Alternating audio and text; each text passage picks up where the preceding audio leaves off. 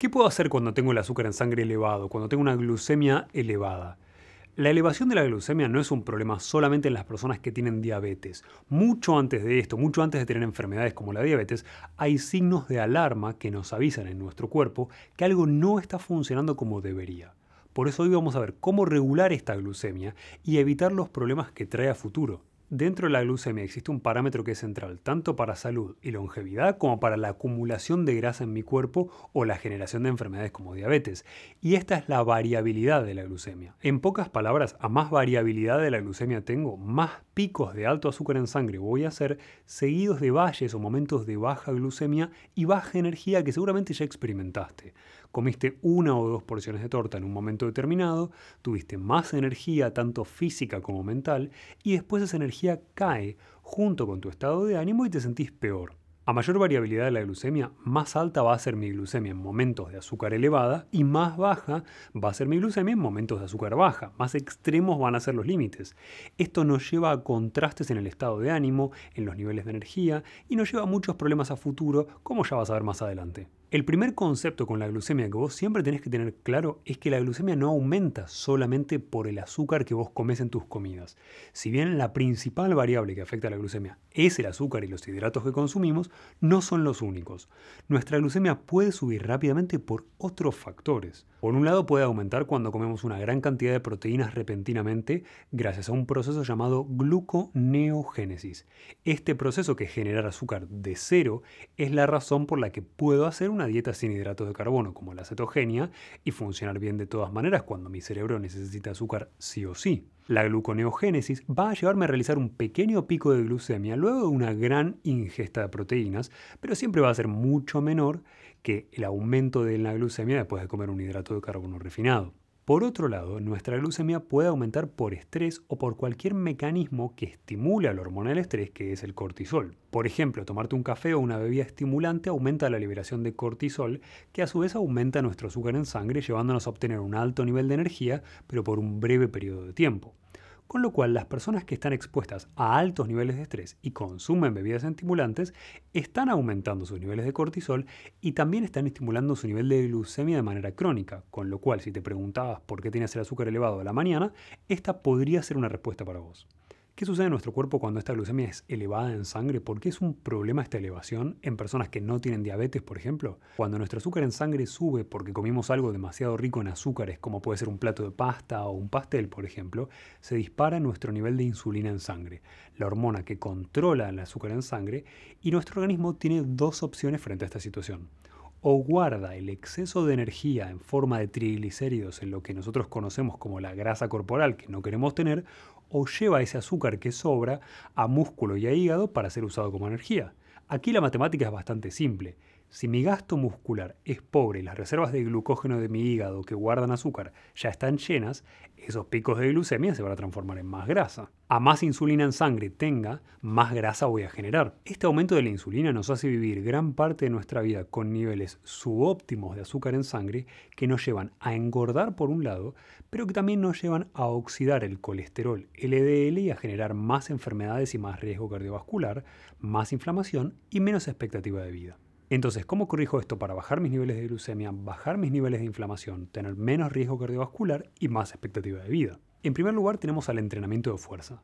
Al tener una alta carga de trabajo muscular, el entrenamiento de fuerza no me hace bajar la glucemia por la cantidad de calorías que consumo.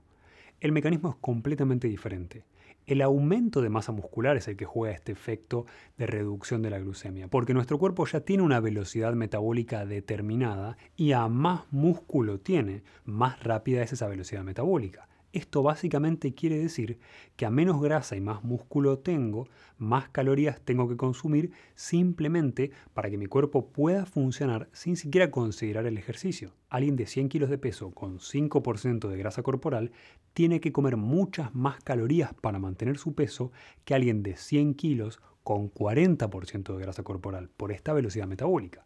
Pero a su vez ganar masa muscular con entrenamiento de fuerza ayuda a que a futuro cada pico de azúcar que hagamos pueda ser utilizado en mayor medida por tus músculos y tu hígado antes de transformarlo en grasa. Con lo cual pensar el entrenamiento de fuerza más como una solución a largo plazo, mientras que el siguiente ejercicio que te voy a mencionar es más cortoplacista, es más una solución para hoy. En segundo lugar, puedes hacer ejercicios de intervalos de alta intensidad. Los ejercicios de intervalos antes de comer tanto si tienes un evento social y no puedes evitar comer lo que te toca, como si vas a comer mal por motu propio o por tu propio deseo, te permiten reducir ampliamente la capacidad de tu cuerpo de absorber los hidratos de carbono que vas a consumir y acelerar tu metabolismo por un periodo breve de tiempo, suficiente como para notar que si dos personas exactamente iguales con el mismo metabolismo van a comer la misma comida, la persona que haga ejercicios de intervalo por unos 30 segundos antes de comer va a tener una curva de glucemia significativamente más plana que la persona que no hizo estos ejercicios,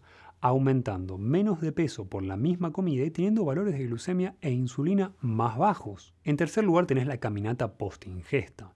Si el ejercicio de intervalos antes de comer no es para vos o no es tu estilo, la caminata post-ingesta cuando terminaste de comer es tu segunda mejor opción para disminuir la velocidad de absorción de los hidratos de carbono que consumiste y así poder reducir de la misma manera, pero en menor cantidad, la curva de glucemia. En cuarto lugar tenemos las plantas, hierbas y especias que nos ayudan a bajar la glucemia en sangre. Existen plantas y hierbas que nos ayudan a mantener el azúcar más estable a lo largo del día. Si tienes problemas para manejar el azúcar en sangre correctamente o simplemente quieres optimizar tu glucemia para aumentar tu expectativa de vida y envejecer más lentamente, el uso de plantas o especias está claramente recomendado. Algunos de los ejemplos de estas especias son canela, extracto de melón amargo, vinagre de sidra de manzana, que tiene una particularidad en este caso que es la de impedir la digestión de los almidones, con lo cual si yo consumo un almidón y tomo después este vinagre, absorbo menos hidratos es clave tenerlo a mano cuando por razones sociales como platos ricos en almidón como un plato de pasta. Semillas de fenogreco, berberina, cúrcuma, romero y otros ejemplos como la gimnena silvestre. Estas plantas o especias actúan reduciendo los niveles de azúcar en sangre, aumentando la insulina o disminuyendo la absorción de los hidratos de carbono que vamos a consumir. Y no podría terminar esta lista sin mencionarte al cromopicolinato, que no es una especie o una hierba, pero que aumenta la sensibilidad a la insulina y te ayuda a manejar mejor el azúcar en sangre, con lo cual es muy útil si nosotros tenemos resistencia a la insulina. En quinto lugar tenemos a la fibra. En nuestro intestino nosotros tenemos bacterias, muchas de ellas anaerobias, o sea, bacterias que no usan oxígeno para producir energía. Estas bacterias fermentan la fibra insoluble que consumimos y la transforman en ácidos grasos. Los ácidos grasos producidos por esa fermentación generan efectos muy interesantes e importantes para balancear nuestro azúcar en sangre y traernos otros beneficios de salud también. Por un lado impiden la conversión de glucosa en ácidos grasos en tu hígado. Al tener menos grasa en el hígado, el metabolismo de los hidratos de carbono se facilita, engordando menos al comer la misma comida de hidratos que antes y manejando mejor el azúcar en sangre, con lo cual también implica menos riesgo de salud asociado. En segundo lugar, te aumenta la sensibilidad a la insulina. A más sensibilidad a insulina tengo, más fácil puedo lidiar con estos excesos de glucosa sin transformarla en grasa. Y la sensibilidad a la insulina no quiere decir que ahora tengo más insulina. De hecho, eso sería malo. Una mayor sensibilidad a la insulina quiere decir que si antes para bajar un pico de glucemia de 150 miligramos por decilitro necesitaba 10 unidades de insulina, ahora voy a necesitar 7 o 6.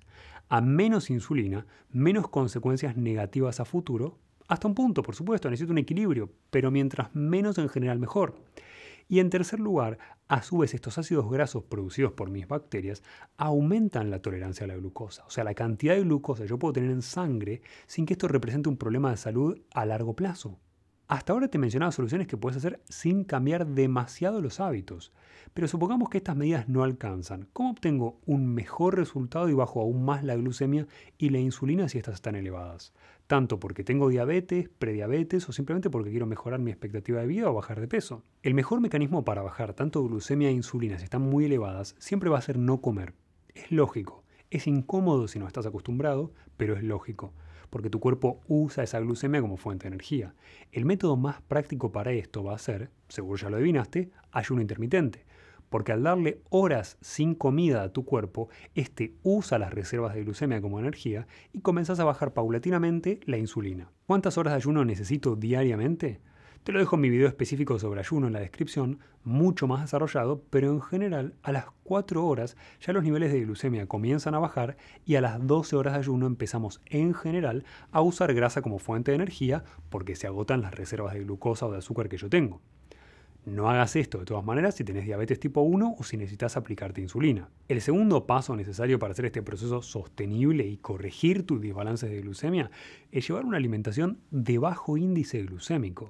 Esto lo habrás escuchado muchas veces, pero tiene una función muy importante, que es la de aplanar la curva de azúcar en sangre. Esto me brinda más energía a lo largo del día y menos riesgo de salud a futuro. La comida de bajo índice glucémico básicamente es comida que va liberando sus azúcares de a poco y si bien te voy a dejar una lista en la descripción, quiero que sepas que puedes hacer bajo índice glucémico haciendo cualquier dieta, desde un crudiveganismo hasta una cetogenia ya que lo único que tenés que hacer es elegir alimentos que no liberen azúcar de manera rápida.